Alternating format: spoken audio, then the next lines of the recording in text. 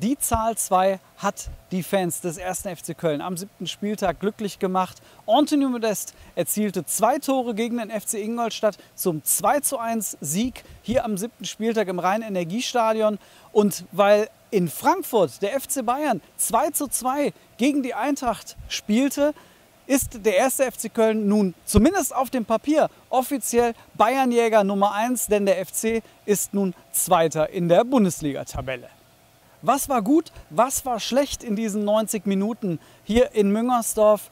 Gut war sicherlich das Sturmduo des 1. FC Köln, die zwei Stürmer, die Peter Stöger heute aufbot. Und das waren Yuya Osako und Anthony Modest. Der eine bereitete das 1 zu 0 vor und holte den Elfmeter zum 2 zu 0 raus. Der andere zeigte sich, wie man ihn kennt, nämlich eiskalt vor dem gegnerischen Tor. Und das, obwohl Anthony Modest unter der Woche sich noch eine Verletzung am Knöchel zugezogen hatte.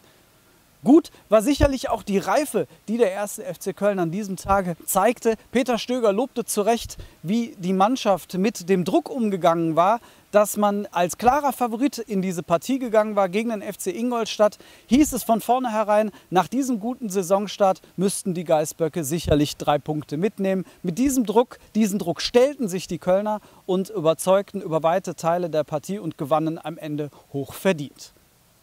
Schlecht war heute sicherlich die Schiedsrichterleistung, das muss man so sagen. Auch wenn der erste FC Köln davon profitierte. Tobias Wels hatte nicht seinen besten Tag in einer zugegebenermaßen sehr aggressiv geführten Partie mit über 50 Fouls, hüben wie drüben. Es war sicherlich sehr schwer für ihn, einige Situationen zu beurteilen. Allerdings, als äh, Dominik Heinz den Ingolstädter Lescano im Strafraum ganz klar faulte, hätte der FC sich nicht beklagen können, wenn Wels auf Strafstoß entschieden hätte. Nicht so gut war auch, dass äh, der FC das Spiel nicht früher zugemacht hat.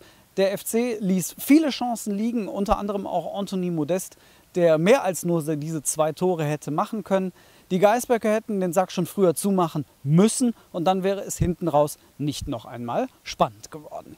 Dennoch, die reife Leistung bleibt bestehen, die gute Leistung über weite Strecken der Partie gegen Ingolstadt und die drei gewonnenen Punkte, die den FC nun auf Platz 2 gespült haben. Und als Belohnung bedeutet das, dass die Geißböcke in der kommenden Woche im Spitzenspiel der Bundesliga antreten werden, dann nämlich als Tabellenzweiter gegen den Dritten. Und das ist Hertha BSC. Mit den Berlinern haben die Geißböcke ja nach der letzten Saison noch eine Rechnung offen.